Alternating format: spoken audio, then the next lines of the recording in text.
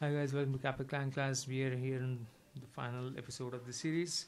I've shown you how Chintu won the war for us. Jagada who sealed it with a 2-star, 3-star victory on 16 lay with, a, with an intelligent use of the rage spells which we've never done in the past and we learned, learned a new technique to use in the wars.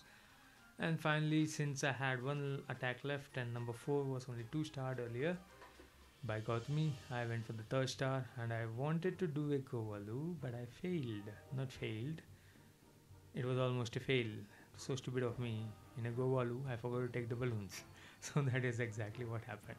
I went with all wizards instead of balloons, but the wizard did a great job. I don't know what to call it. Maybe it's a Govawi without the loose. Let's see. So here goes. So as you can see, there are 21 wizards. Where the balloons? God knows. Forgot to take the balloons. So I've gone with two two golems, four Valkyries of my own, three in the clan castle, 19 archers to loot, and one one giant to loot the clan castle, and 19 archers to kill the clan castle. And remember, I was carrying the earthquake spells, so there's no poison to weaken the clan castle. But I had 21 wizards who could take care of the clan castle. So here we go. Let's see how it went ahead. So here comes the dragon. This for clan castle. Out comes the, the dragon, the giant. Why do I always keep saying it's a dragon? It's a giant. So now the con- one archer to lure the dragon.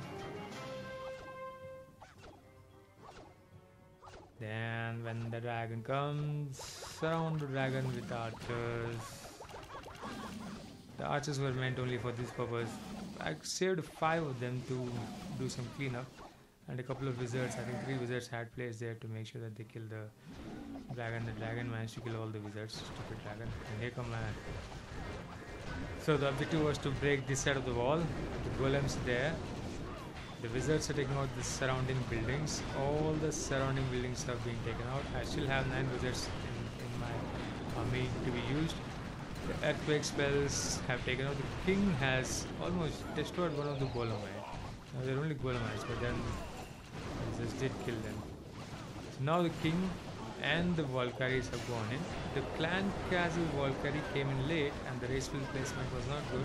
So the clan castle Valkyries went ahead. Only three Valkyries went in with the golem and the three of them were under rage spell. Followed by a few wizards. And the king is going around the base with along along with the Valkyries, but the Valkyries in the center, even though they are level 1, remember they are wreaking havoc while the Golemites are taking all the hits.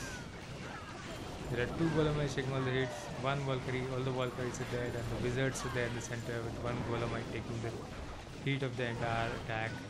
And the king goes around and cleans up the base. There are just a few things. And of course, I had placed the remaining of my wizards on the sides to clean up. So it was, in the end, it was the king and his barbarians and a few of the wizards who did the trick.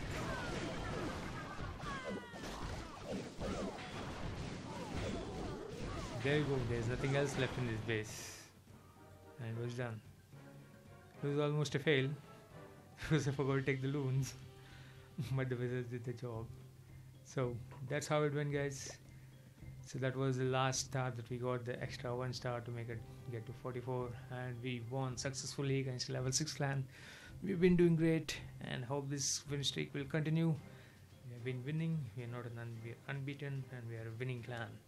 Hope this continues. Hope you guys like the attack strategies and the things and the tips that we pick up in all these wars. Please do like, comment, share, and subscribe. And I will see you in the next war. Bye bye. Thanks for watching.